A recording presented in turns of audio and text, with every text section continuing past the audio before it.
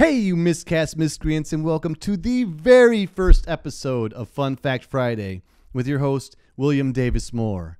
This is the show where, in five minutes or less, hopefully under three, I don't know, I'm going to try, really quick like, we're going to tell you a fun fact that happened in the entertainment industry now to time immemorial. But uh, that's going to happen every Friday, and it starts right now with Queen.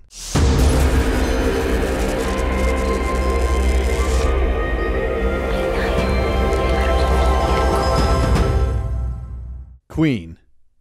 The legendary band, renowned across the globe and throughout the decades for so many unbelievably amazing songs that some quite literally get lost in the ether of your mind and are sadly forgotten.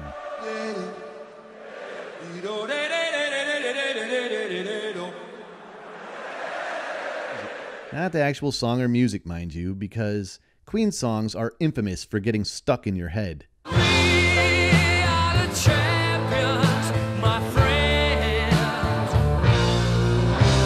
I doubt there is a more adrenaline inducing song than We Will Rock You, quite literally played at nearly every mass sporting event, crowd heavy freak frenzy, or Ulrich von Liechtenstein laden jousting match. Sing it! uh, we will, we will rock you.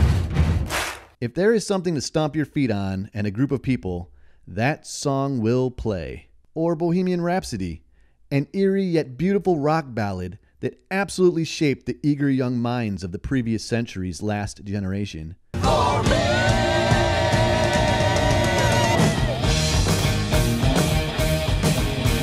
No, no, the music could never ever be forgotten. However, the knowledge of where the song came from or why it was written to begin with absolutely can. In 1980, Queen decided to delve into the world of science fiction fantasy film and created one of the most famous soundtracks ever produced the soundtrack for the cult classic movie Flash Gordon.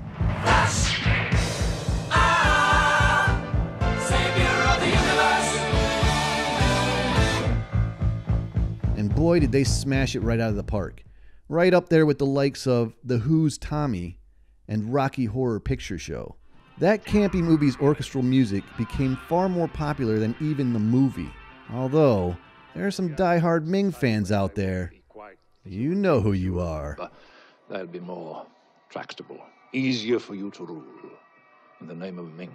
But fun fact Queen also produced another groundbreaking soundtrack that decade, and for a film very different in mood and tone than the flash and pizzazz of Flash Gordon.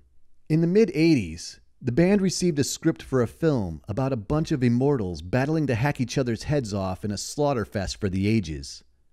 A film called The Highlander. Initially, they would turn it down.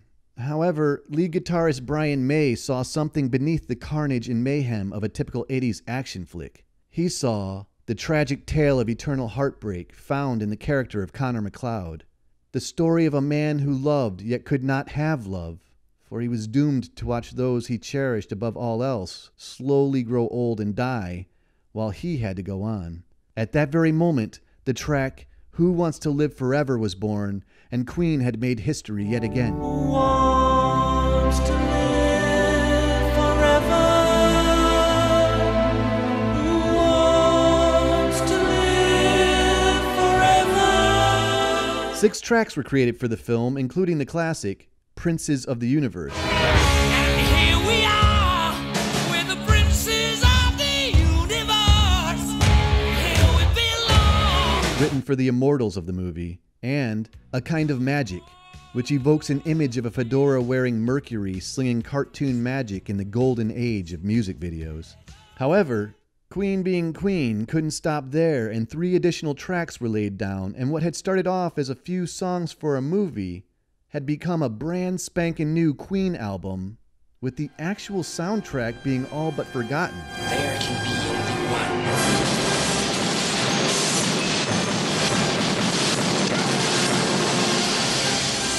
Add a little spit and polish and some rearranging, and the album A Kind of Magic was released in 1986.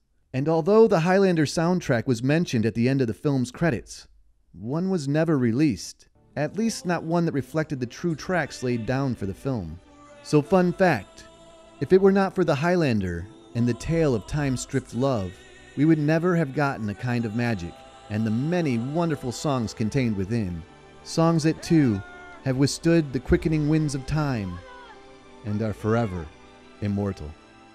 Well, that's it. That was the first episode, and I thought it was pretty fascinating. If you did like the video, then hit the like button down below. And if you like our content in general, then hit the subscribe button. And right next to it, hit that bell so you get notified when we upload new content. As it is now, that'll be Monday, Tuesday, and Friday. Monday, our movie review, Tuesday, our movie news, and Friday, Fun Fact Friday. That's this guy right here. Our movie review for this upcoming week is The Nun. So if you haven't seen it yet, get out there this weekend and check it out so you can check out our spoiler review on Monday. We really want to hear your feedback, so please comment below if you want uh, me to delve into something trivia wise or put something together that you think is going to be cool.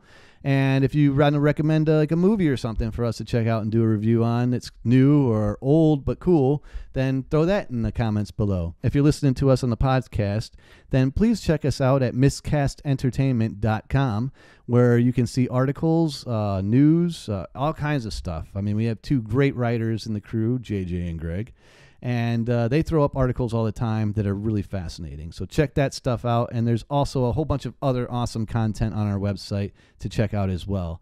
And also, if you're listening on the podcast, then please don't forget to head over to our YouTube channel where you can see us do the podcast professional style like.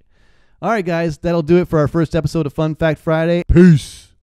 I think for the first time in, in Queen's uh, life, as it were, is that we've actually made a film soundtrack, but we've also made a Queen album. So we, ha we had to try and let people know that it's not just a soundtrack, because we've got other songs as well.